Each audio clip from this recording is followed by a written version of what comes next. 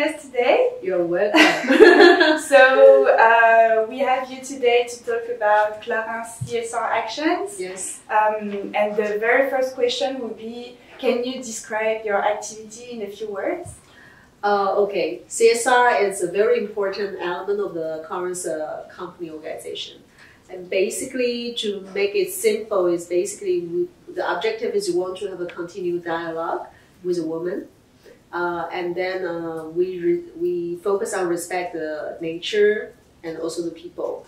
Uh, the third one is actually we will leverage with some international organization to do the CSR program. So like a, a feed program, arthritis program, or even the tree planting program. So this is uh, what we, uh, the area we are focused on. Yeah. All right, perfect. Thank you. Um, so the next question would be, um, what kind of CSR actions uh, Clarins implement here in Taiwan?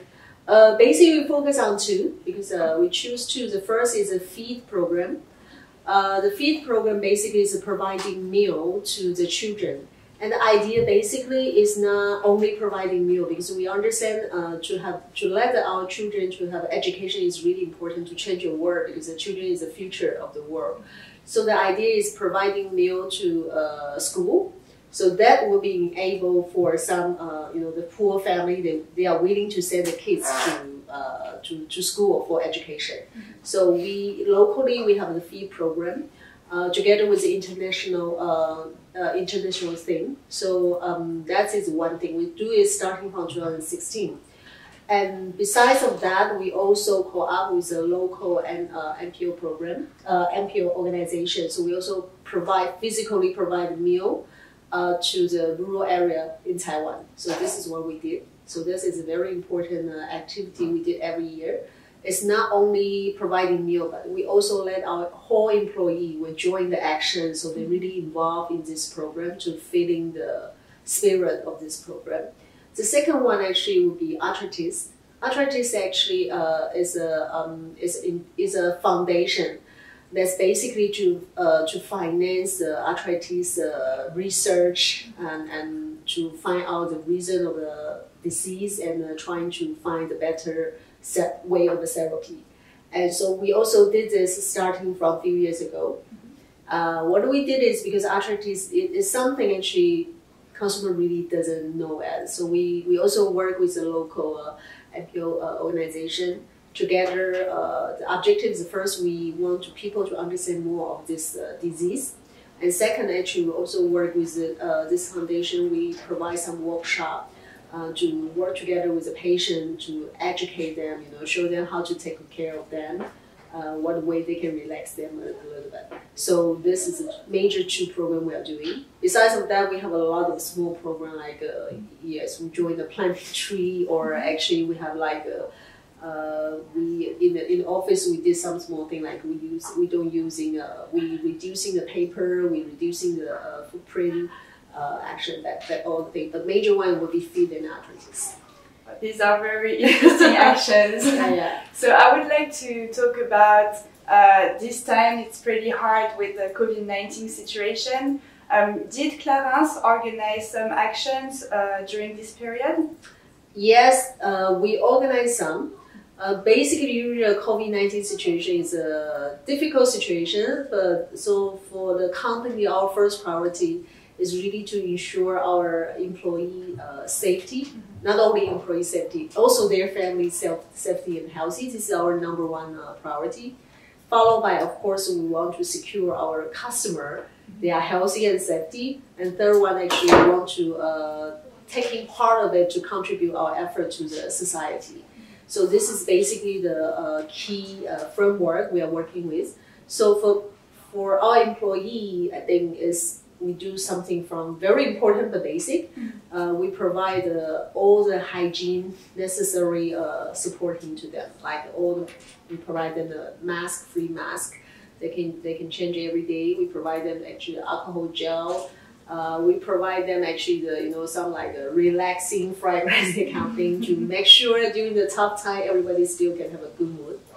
Uh, we ensure, and this is something we do. The second part actually we ensure our employee. Uh, we, we understand it under this period people could feel not secure, so we also uh, um, we also reduce uh, the you know our target accounting uh, our sales target to our employee because uh, just to ensure actually they can have a uh, they can keep their uh, income level as the same so not be impacted uh, by by the COVID nineteen. So this is to our employee. To customer, I think we did a lot. we did a lot of the first thing we need to do is really ensure that all the hygiene uh, the very high standard of hygiene at our counter level. We also communicate to our com- uh, consumer regarding what we did. Mm-hmm. So for them to understand, because everybody will be worried about whether I can come to counter. And importantly, we did something is uh, we do uh, no touch consultation because you know normally face care you need to touch your hand, touch your face. Uh, but we have a protocol is actually no touch. So that means we still do consultation, but we are not going to touch you uh, but you can still learn all of things. So this is a protocol we do immediately. Uh, we uh, anyway ensure the hygiene protocol, everything. So this is to make sure our customer actually they feel safety to come to a counter. So in fact, it's working quite well.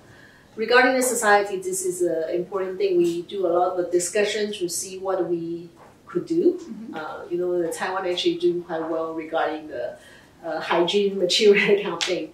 So considering actually all the healthcare uh, professional, they need to wear the mask all day long. Uh, they need they have a sanitizer always like every every few minutes. So which quite damaging to their face, skin, and hand.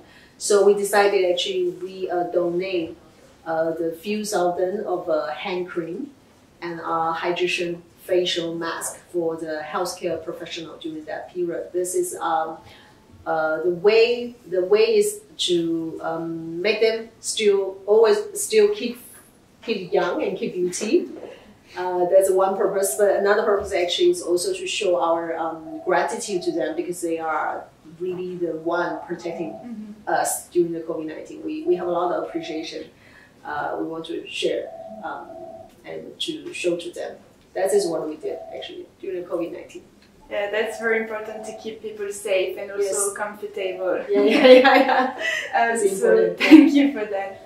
Um, so last question would be, uh, what kind of advice would you give companies who would like to launch such projects in Taiwan? Uh, I think CSR actually, most of the companies actually now they all run CSR program uh, have a different uh, prospect. You know, some uh, beach cleaning could be one. You know, planting tree and everything. So there's a, plenty of a CSR program.